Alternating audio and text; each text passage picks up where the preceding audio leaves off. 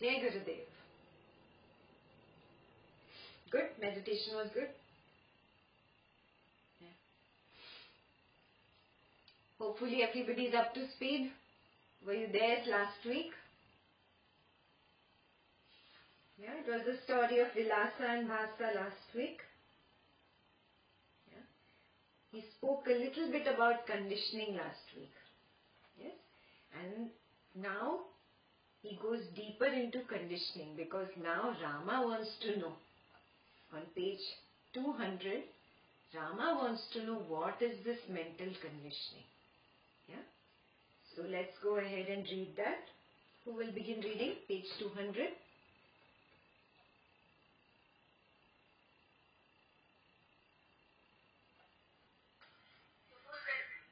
Subul read?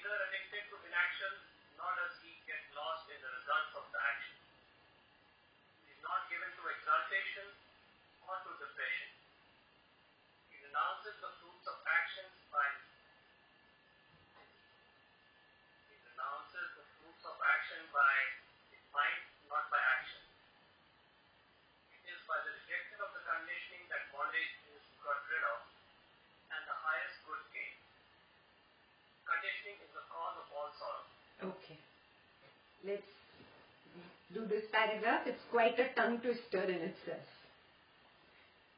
Yeah. So, what is conditioning? This is what Rama is asking, and how does it cause bondage basically? First sentence Conviction in the reality of the body in one who has abandoned the distinction between the body and the self is known as conditioning. When we were not on the spiritual path, how were we living on, in the world? Thinking, I am this body. Then when I came onto the spiritual path, we read the scriptures, then the understanding went you know, deeper that, oh, I have a body. I am not the body. Yes? Then the distinction started happening. I started separating myself from the body. I started separating myself from the mind. I started separating myself from the intellect. I started separating myself from the memory, from the ego, and just being. It might have happened for a few seconds while meditating or in the knowledge sessions, in an art of silence course. But those few moments made me realize oh, I am not the body, I am not this body mind complex. I am separate from this. Now, there are people who come onto the path who get a chance to experience this, but they abandon it. They are not ready to see this distinction between the self and the body. Okay? So that is the meaning of those the one who has abandoned this distinction between the body and the self. What happens to him? He has full conviction that this body is real and not just this body, this prakriti, this nature, these people, these situations, this thing, this entire world of Maya is real. Such a person is convinced.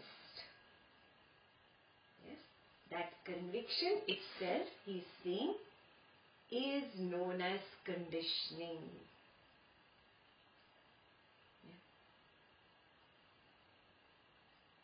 Second sentence, he who believes that the infinite self is limited and therefore seeks pleasure thus gets bound.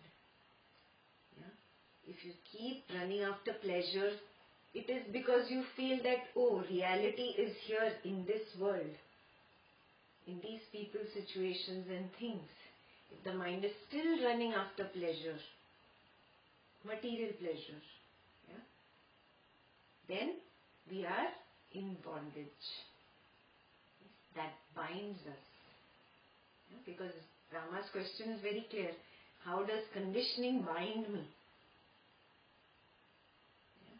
So impressions of this world of Maya are created because of my conviction in this world of Maya and now these impressions are binding me.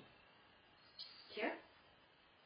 So, he who believes that the infinite self is limited yeah? Because he has no understanding that the self is infinite, is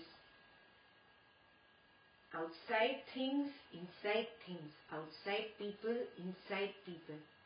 It is that in which we all are, just like fish is in the ocean. When somebody does not have this understanding, he believes in the reality only of the fish and the shark around. He does not understand the truth of the ocean. Yes? Such a person gets bound by the fish and shark and the corals and the all the beautiful flora and fauna in the water. Do you see what I'm saying? Yeah? So that is bondage being lost in the flora and fauna of this beautiful samsara is bondage.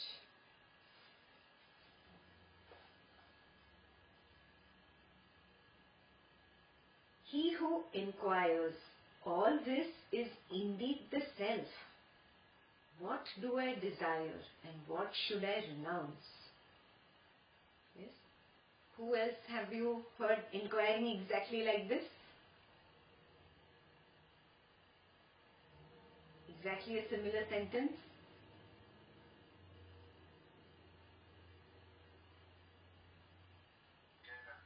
Janaka. Ah. Yes. Raja Janak also said the same thing. Yeah. What is there to grab, to grasp? What is there to reject? Yeah. Everything is the same consciousness. Exactly the same thing here Vasishtha is saying. And all is the self. Even that money that you're running after is the self. Even that beautiful woman or that handsome guy you're running after is the self. Even the job, the name, the fame, power, whatever the mind is seeking is all self.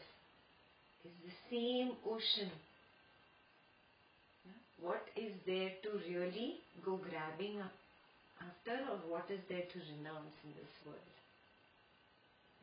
When somebody starts contemplating like this, that person is established in the unconditioned state of liberation.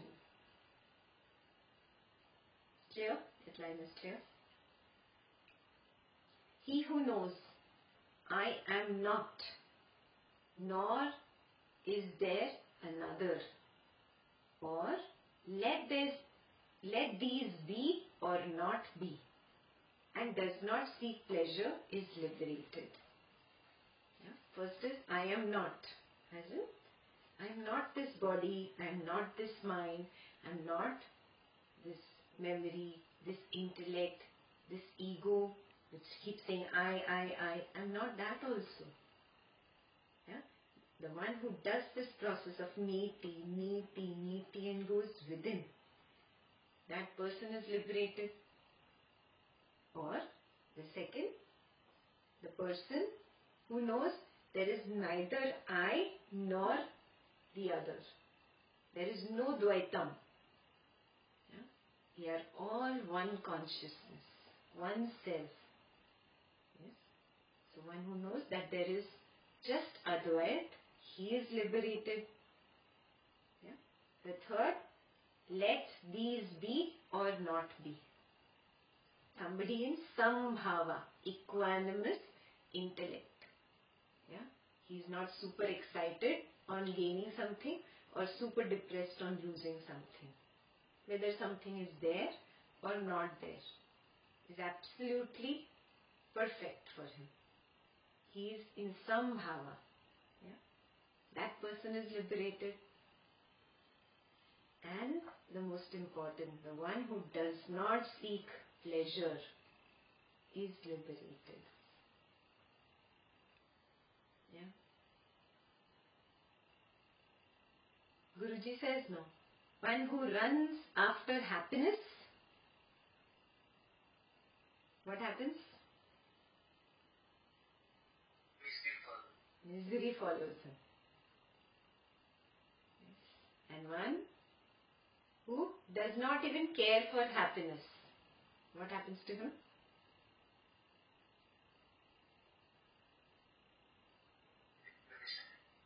Huh?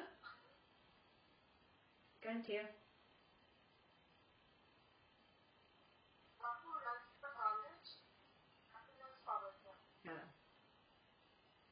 One who runs after knowledge,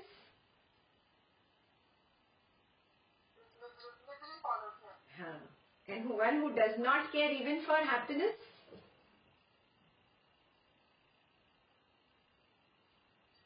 he attains Parama Vairagya. No. Parama Vairagya. Yeah, the highest form of dispassion. Yeah. So he, he described four kinds of states of liberation here, huh, in this one sentence. These are repeated sutras in the actual Yoga Vasistha in, in Sanskrit. Each line is a separate sutra. Here it's all put together in one paragraph. So this is like very beautiful. I am not, nor is there another. Yeah? Or let these be, or let these not be. Or one who does not seek pleasure. Or that's it. Three. One, two, three. Clear? These are the three states he has described to you. Such a one is established in liberation. He is neither addicted to inaction nor does he get lost in the results of action. Yeah? So, just like Lord Krishna described in the Bhagavad Gita, that don't run after karma phalam. Yeah? So, somebody would say, why would I do karma at all if I don't have to bother about karma phalam? Let me just sit on the couch. Things will happen. So he does not even get addicted to inaction. And at the same time, he is not running behind the results of action or karma phalam. Yeah? The perfect balance. He is not given given to exaltation or to depression. Yeah? Similar to Sambhava, he is not super excited or super low. He renounces the fruits of action by his mind, not by action. Yeah, this is very important to understand. Oh, I should not have to bother about the results. So I will do the job anyhow. I don't care what the results are.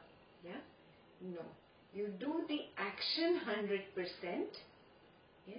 But this running in the mind behind that result of action that I should get this from this, that running should drop. Yeah. For example, Jayashree is organizing a course.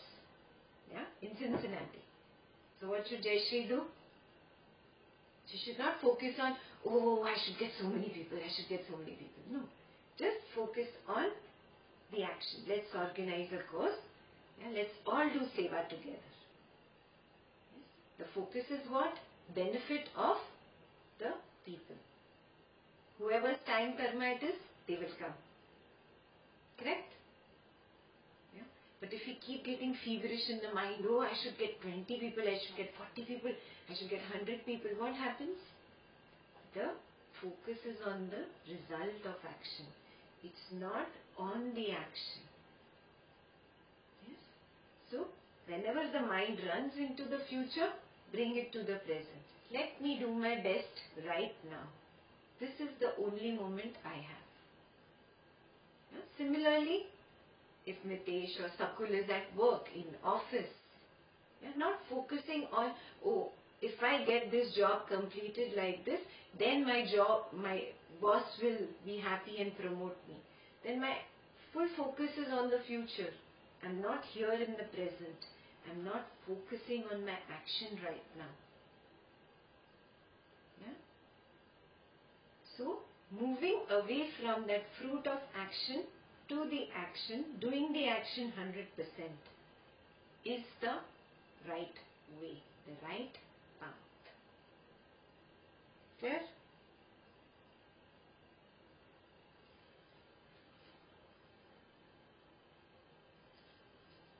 It is by the rejection of the conditioning that bondage is got rid of and the highest good gained.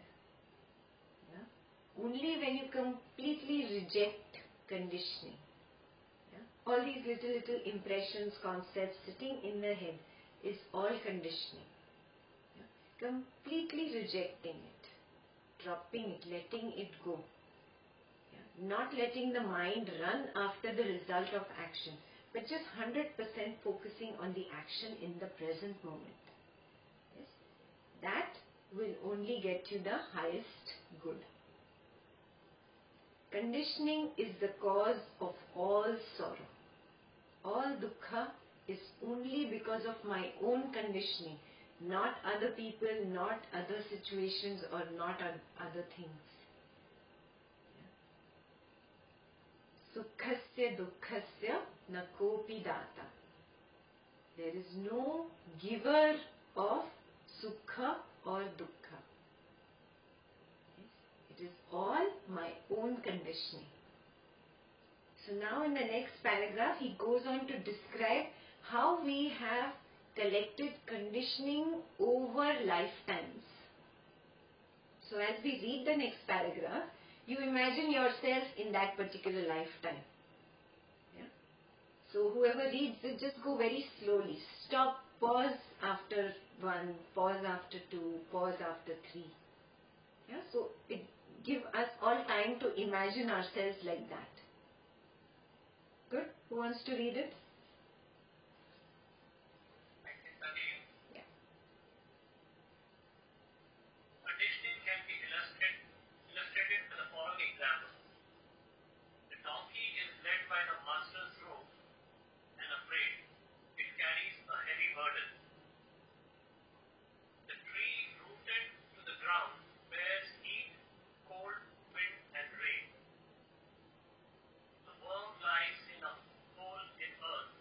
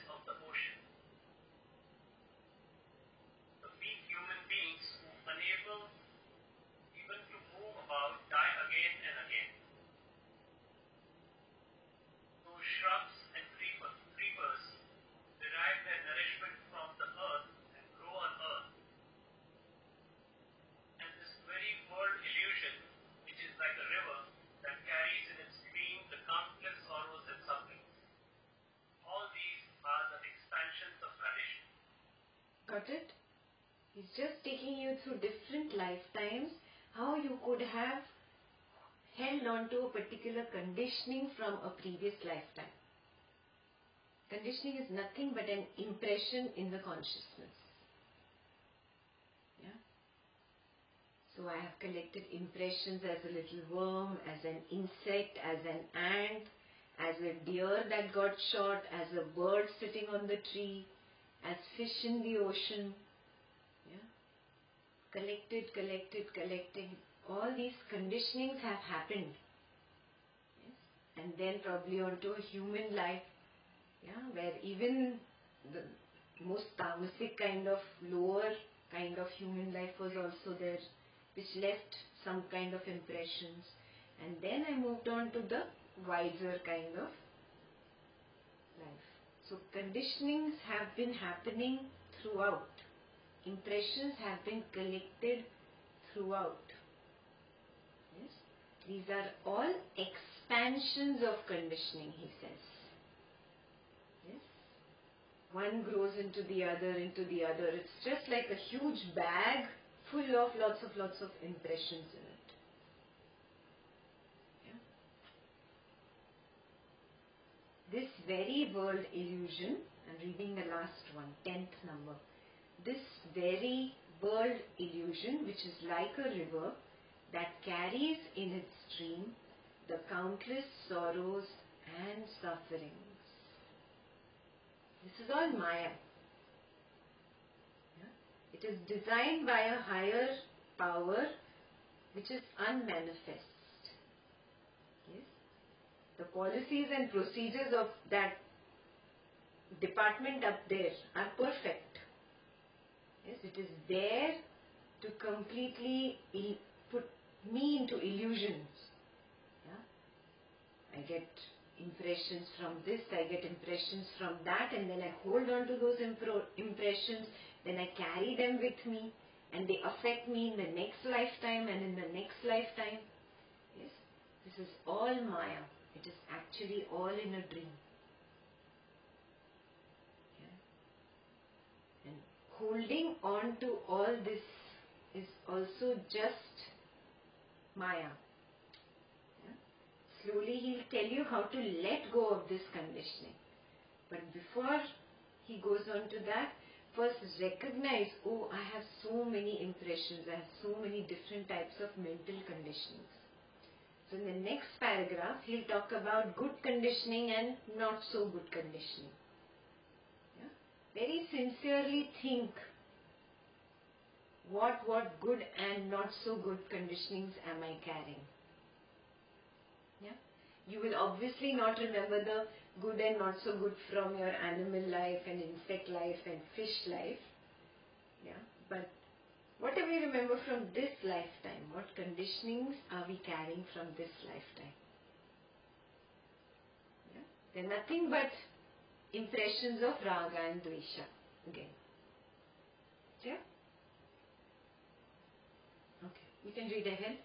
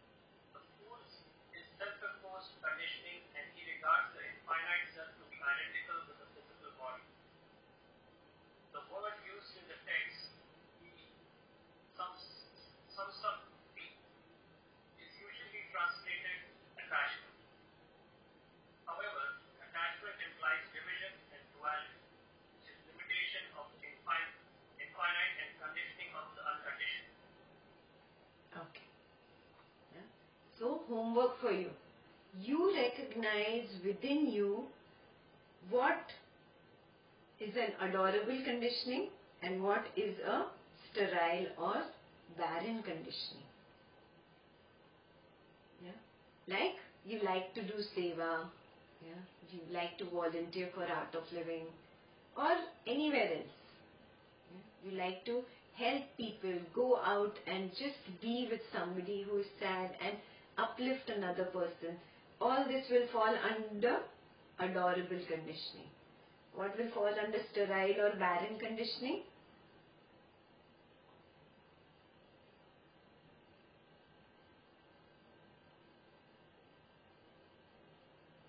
What?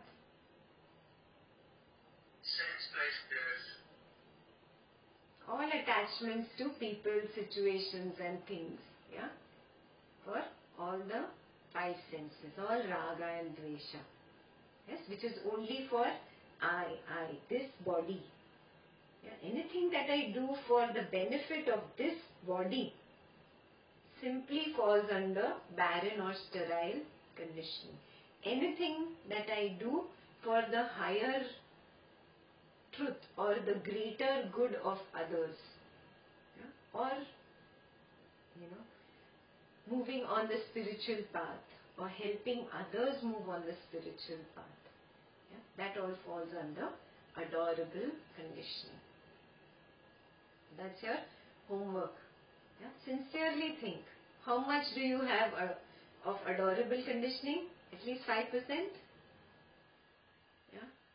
And how much percentage, what, what falls under your sterile or barren conditioning? 95%, 97% or all 99.99%? yeah? We've described it very beautifully. I'll read the sutra on the top. Samasaktir dvidha prokta. Samasaktir is, we've done Sakti. Sakti is the power of coming close. Yeah? Samasakti, attachment. Yeah? This attachment is vividha, is of two types. Vividha prokta, it is said. Vandya Vandya cha Raghava. Right? Different, different types of conditioning are there. What are they? Adorable and barren. You can say good and not so good. Vandya Sarvatra Moodhanam. Mood is a fool, is a stupid person. Yeah? So Moodhanam, the fools, what do they everywhere? What is seen in them? The bad kind of conditioning. Yeah? And Vandya Tat Vid Tattva Vidam Nija. Tattva is that highest principle, the highest truth. Yeah? That is seen in the in the wise ones. Yeah? So beautiful, no? Very nicely described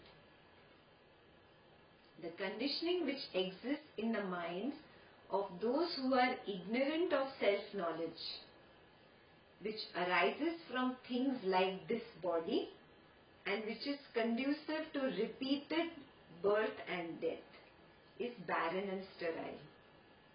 Yes, if I have raga and dvesha with this body and the people attached to this body and things attached to this body and situations for this body, I will be lost in the cycle of birth and death and birth and death. Yes? And I come into the category of fools, moodha. Yeah? But if I drop this attachment to this particular body, then I rise above the moodhas and I come to the wise category.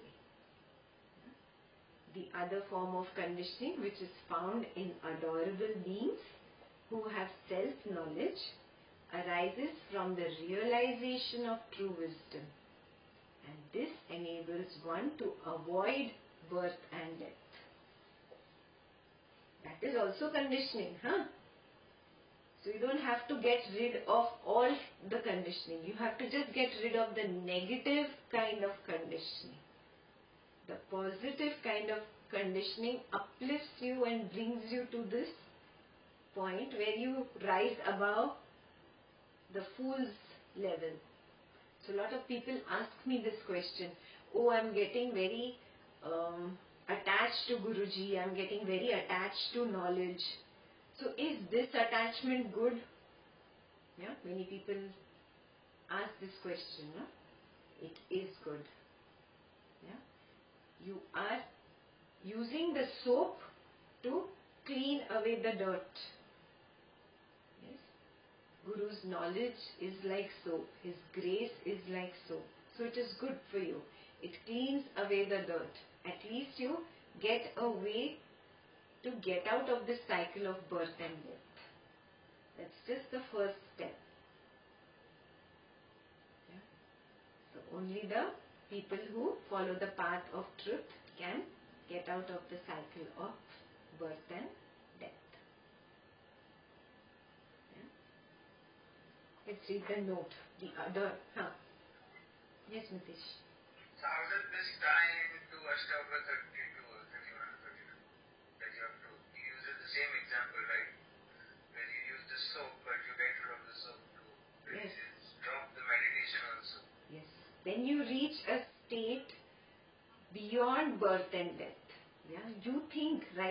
because we are in the body, we feel, oh, that's it, with I have that liberation, that you know, I have that choice whether I want to come into the body or not.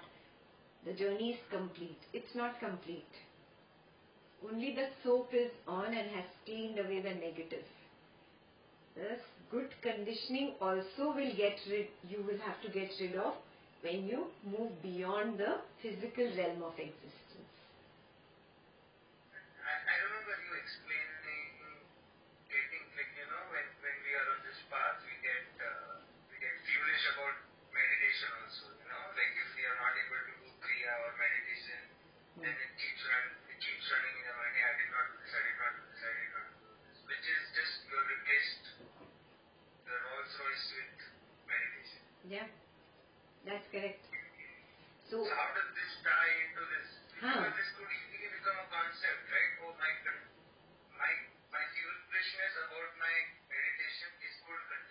No, no, no, no. Now, feverishness is not good. Huh, my attachment, attachment my attachment see you recognize that this is attachment and Ektaji hmm. says it is good so it is good but it is also a concept right that also you will have to get rid of. But get the negative ones off first. Slowly, slowly. Yes, you will have to get rid of, but again, don't make it a feverishness. Guruji also warns you there. Yeah? It's like you are not feverish about brushing your teeth, are you? You just follow a discipline. That's not called feverishness. It's a discipline that I have inculcated. I have a discipline of taking a shower every day, once a day, twice a day, cold water showers. It's not feverishness. Yeah? It's just a discipline. Yeah? I feverishness is what I cannot be without this. Oh, you don't come here. I want this. That all that big drama is all negativity again.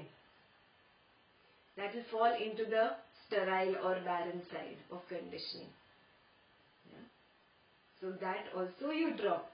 It's okay.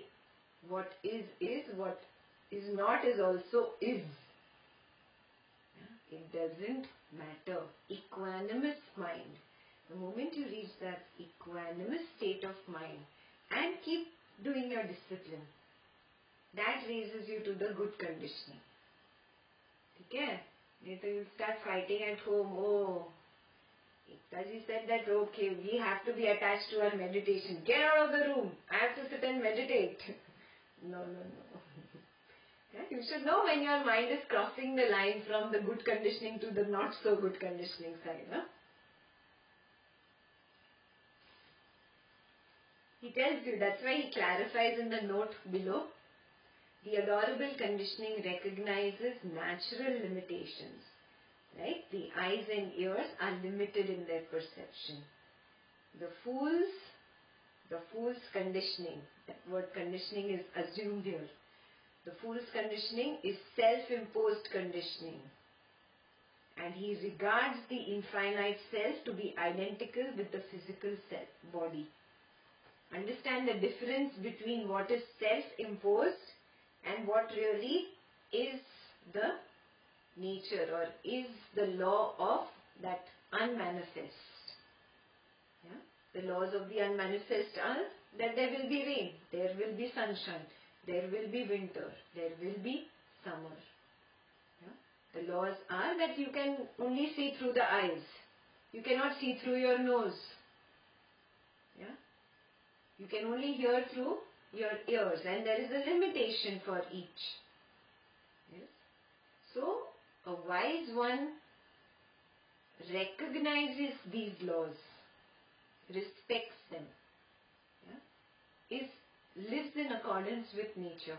A fool wants to go beyond and grasp more.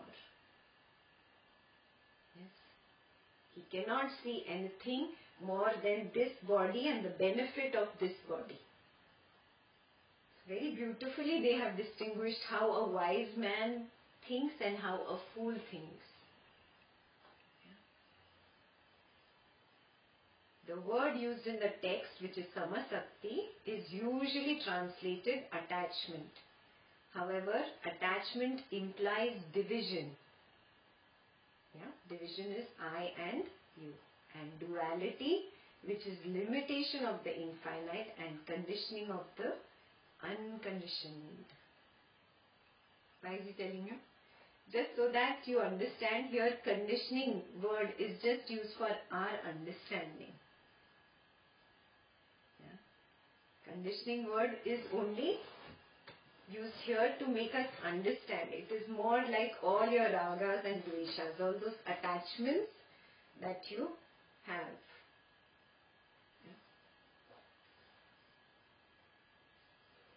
We read ahead, page 201.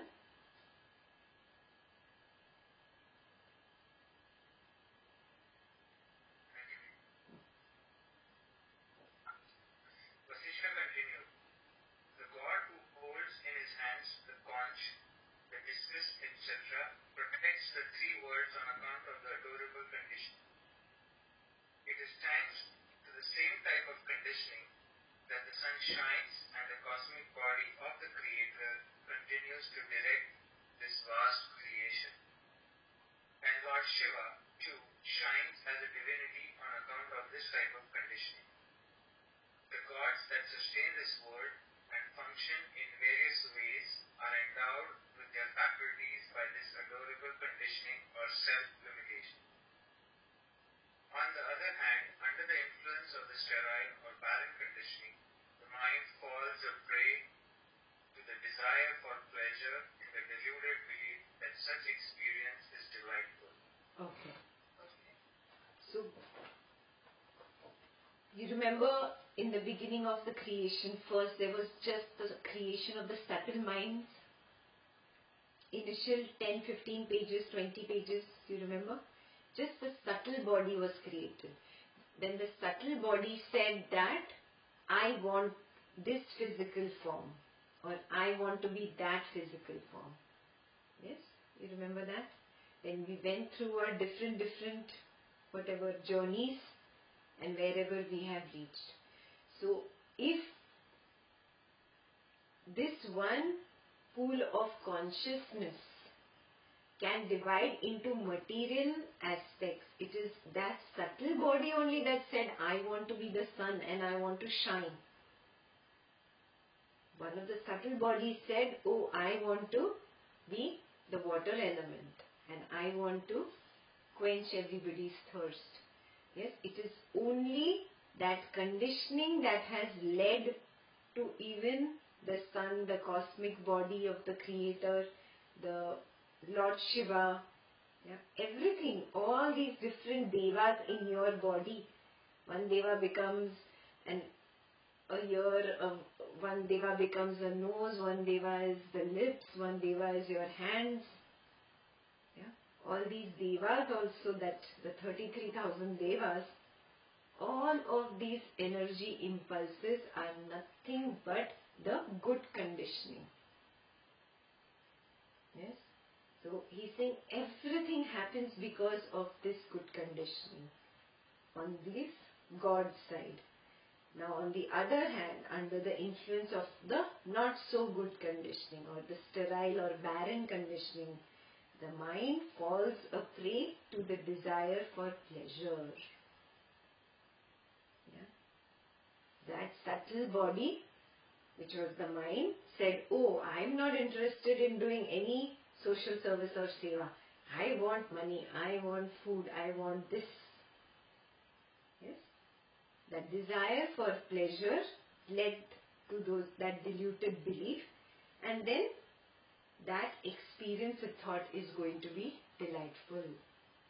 And that's how some people got lost in this world of Maya and some are in the Deva's world some subtle bodies are in the Devas world doing good. Yeah? Kena Upanishad. Everybody remembers, right? Yeah. So, good conditioning and not so good conditioning. Okay. You can read ahead. Even the functioning of the cosmic elements is due to conditioning. And it is because of it that the gods in heaven, the humans on earth, and the demons in the netherworld arise and fall like waves on the ocean. Even as in the ocean, the big fish eat the small ones, all these countless beings feed upon one another and are helplessly blown around in space on account of their conditioning. And the stars in space move in their own orbits because of conditioning. Now rising, now setting, now bright, now dark, and said to have several spots or defects. The moon continues to revolve around the earth and is not abandoned because of conditioning. O Rama, behold this mysterious creation brought into being by who knows who in response to the mental concepts of beings. The universe has been conjured up in empty space merely by mental conditioning. It is not a reality. And in this universe, craving for pleasure gnaws at the very vitals of all beings who are attached to the world, the body, etc. No one can count their number any more than the number of particles of sand along the ocean beaches. The creator of this universe has brought this universe into being, as it were, only in response to the mental conditioning of these countless beings. These beings are indeed excellent dry for the fire of hell here. Whatever suffering is found in this world, know that those beings. Even as rivers flow rapidly towards the ocean, some go towards those who are mentally conditioned. This whole creation is thus pervaded by ignorance. However, if one cuts asunder this craving for pleasure, the limitation of mental conditioning yields to a great expansion. Mental conditioning or attachment to the finite and the perishable is burning pain to the limbs, O Rama. But infinite expansion or devotion to the infinite is the magic cure for the burning pain. That mind which is unattached to anything, which is established in the peace of infinite expansion, is conducive to delight. He who stands rooted in self-knowledge is liberated here and now. This chapter, the real significance of conditioning is brought out, though the word used again is samasangam, which may also be translated as contact or attachment. It is identification or conditioning that is really implied. Okay. Yeah. So just like I explained to you, everything is nothing but conditioning. So every subtle body said that I want to be this particular physical body and that's how that physical form came into existence. It is all actually mental conditioning. Just like in a dream, you think about something and that thought leads to you dreaming that particular sequence. Yeah, for example, you wanted to eat ice cream all day and you just could not get ice cream all day. And then you land up dreaming about having ice cream in the night. Yes? Exactly like that, the subtle body just conjured up whatever it desired. And that conjuring up this entire Maya is that it is unreal. This is not real. That's exactly what he's saying. It is all a mental conditioning. And the moment you wake up from this dream, the moment you drop this mental conditioning, that is liberation. That is, in short, what he's saying here. Even the functioning of the cosmic elements is due to conditioning. And it is because of it that the gods in heaven, the humans on earth, and the demons in the nether world arise and fall like waves on the ocean. So, what does he mean? Yeah, devas are just those energy impulses. Yeah, all that we have studied Gandharva, Kinnaras, Yakshas, Devas. Yeah, so that is the Devaloka, if you want to understand it like that. They are nothing but the same subtle body which has dropped the physical body and moved on, but still has some or the other conditioning and is lost in that particular conditioning. Yeah? You remember the conditioning of yakshas? What does yaksha give you? Money. Yes, money. Yeah, so their conditioning is still there of wealth. What is the conditioning of Gandharvas?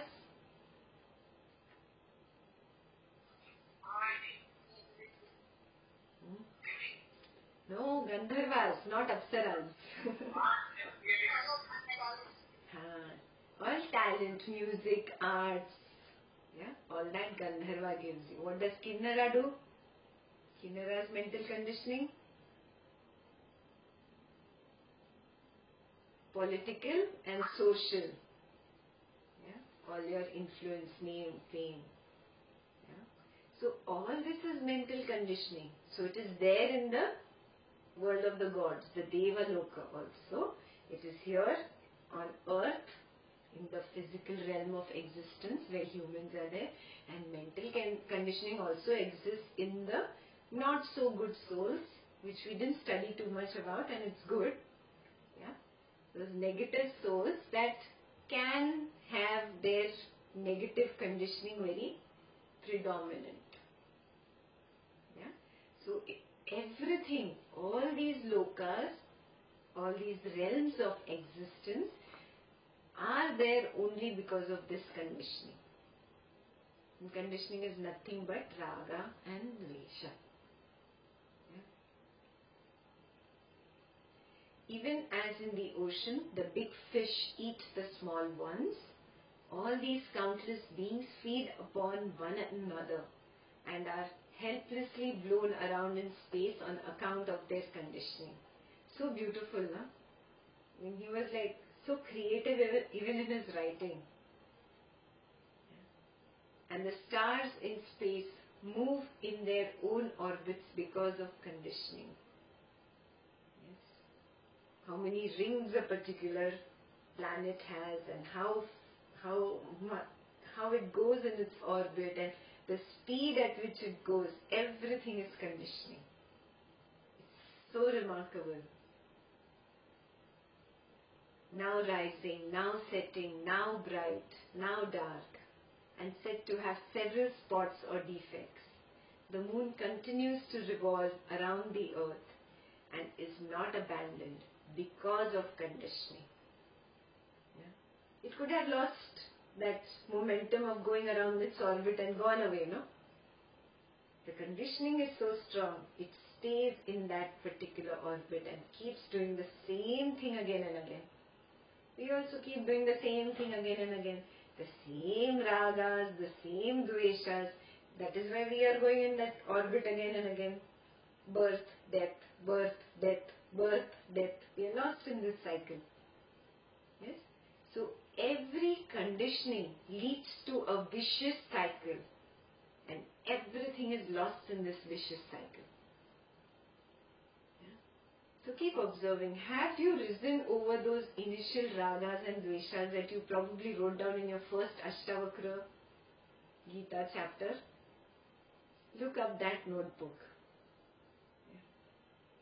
Have you moved on? Yeah, or are you still there? Is the same conditioning there? Yeah. Check. That's your homework number two for today. Just check back your notes from Ashtavakra 1, 2, 3, then we made that whole list.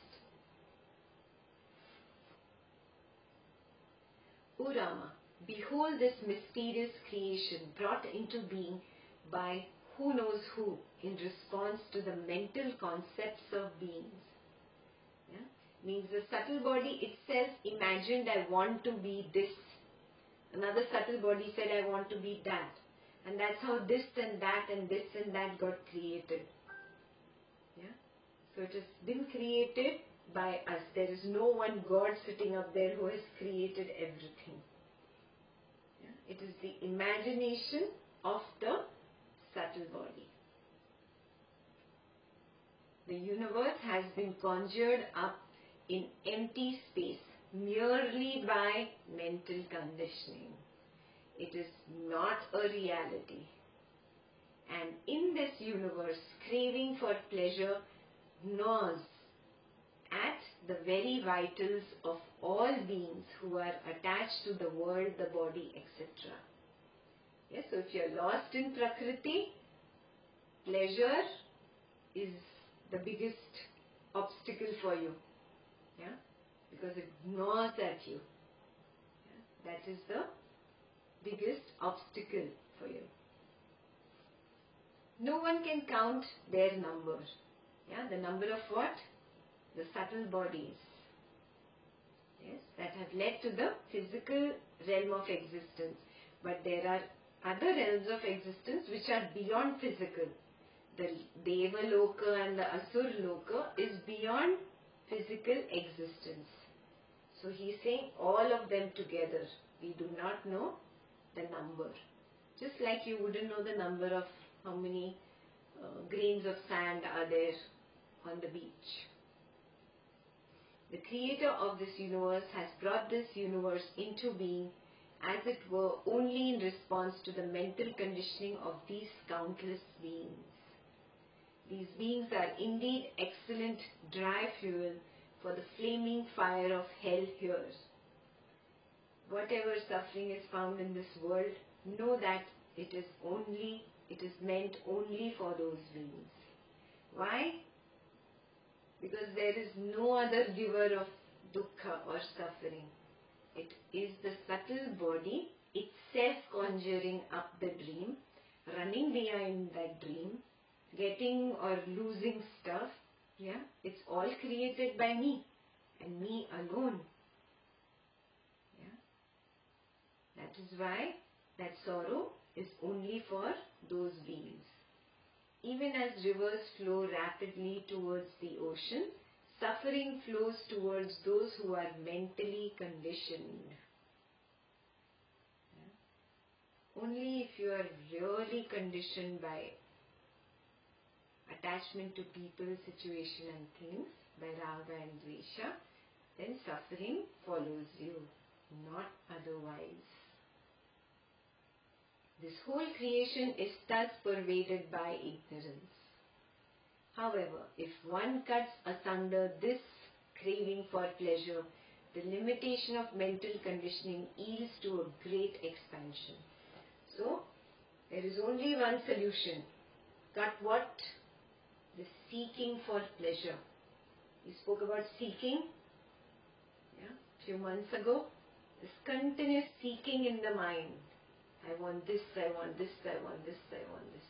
I don't want this is also a seeking. Yeah? This continuous seeking in the mind has to be cut. Just be with what is. Yeah?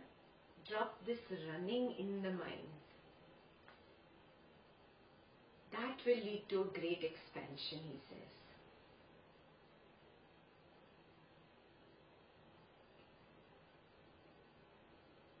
Mental conditioning or attachment to the finite and the perishable is burning pain to the limbs. Limbs as in the whole body, not just limbs. And not just this body, the subtle body, the causal body. Yes, it's just burning pain. Yeah, because there is craving and there's wanting to achieve, wanting to get. Yes, O Rama. But infinite expansion or devotion to the infinite is the magic cure for the burning pain. Yeah, now how can this burning pain be relieved? By infinite expansion. And in the previous sentence he told you how to get this infinite expansion or great expansion? By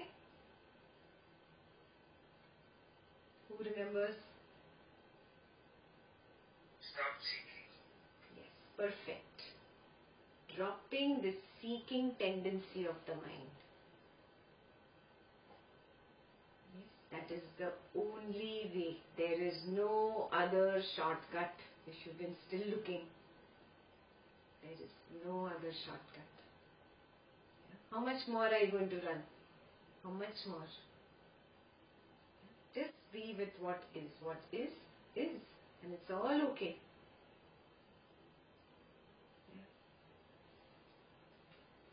The mind which is unattached to anything which is established in the peace of infinite expansion is conducive to delight. He who stands rooted in self knowledge is liberated here and now. There is no other shortcut, guys. So if you are still seeking, you need to observe. Yeah? What am I doing? Have I got anywhere? It's been almost six months since we did the last seeking session.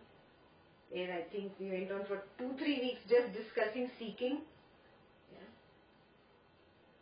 Yeah.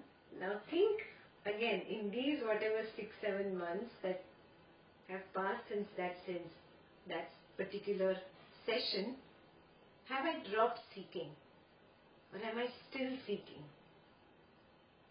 Is there any progress? Have I even dropped one little thing that I was seeking for? Again, dropping it in the mind, being with what is. Yeah, that equanimous intellect, sambhava. Not dropping action and becoming inactive, but dropping the feverishness here about what that should be and what that should not be and what I should get from it. Constant running that happens here, that is seeking. Yeah? So go back to that chapter on seeking and see. Has there been some progress? Little bit, 1% at least? Yeah, that's your homework number 3 for today. Yes? I'll let you be with this homework. Very sincerely make a list of your good conditioning and not so good conditioning. Adorable and sterile conditioning. Yeah? And really compare your Raga Dvesha from Ashtavakra 1 or 2 and 3, wherever you made the list sincerely, and also compare back to the seeking chapter. What had you written there? Yeah, maybe you will remember, oh yes, this was one seeking which has dropped off since then. Yeah? All good? Okay? Then I'll see you next week. But sincerely do this homework. ठीक है? जय गुरुदेव